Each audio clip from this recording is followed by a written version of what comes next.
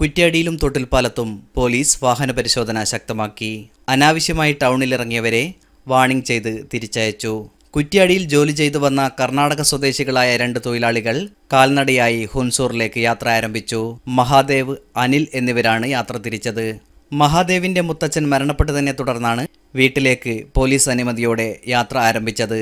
അതിഥി തൊഴിലാളികളുടെ താമസ സ്ഥലങ്ങളിൽ പോലീസ് എത്തി ഭക്ഷണ ലഭ്യത അടക്കമുള്ള കാര്യങ്ങൾ ഉറപ്പുവരുത്തി എന്ത് വിഷയമുണ്ടായാലും പോലീസിനെ അറിയിക്കണമെന്നാവശ്യപ്പെട്ട് ഹിന്ദി ഭാഷയിൽ നോട്ടീസും പോലീസിന്റെ ഫോൺ നമ്പറും തൊഴിലാളികൾക്ക് കൈമാറി ഹിന്ദി ഭാഷയിൽ തന്നെ അതിഥി തൊഴിലാളികളെ തൊട്ടിൽപ്പാലം പോലീസ് ബോധവൽക്കരിച്ചു आप लोगों को कुछ खाने के लिए कुछ प्रबंध करने दो वो नीचे वो लिखा हुआ है उसका नंबर में वो पुलिस का नंबर है उसमें बुलाना है और आपका अ, मकान वाला आदमी है ना आपको ठेकेदार है ना ठेकेदार आपको जो ले ना वो जमावरी है इसका समझ गया वो उसको कुछ आपको कुछ प्रॉब्लम होता है पहले उससे मिलाप करना है वो जमावरी आपका इधर से जा जाने तक उन लोगों का जमावरी है തൊട്ടിൽപ്പാലത്ത് വാഹന പരിശോധന നടത്തിയ പോലീസുകാർക്ക് യുവാക്കളുടെ കൂട്ടായ്മ ഇളനീർ വിതരണം ചെയ്തു കുറ്റ്യാടി പോലീസ് സ്റ്റേഷനും പരിസരവും നാദാപുരം ഫയർഫോഴ്സ് മരുന്ന് തളിച്ച് ശുചീകരിച്ചു. News bureau Kuttiadi.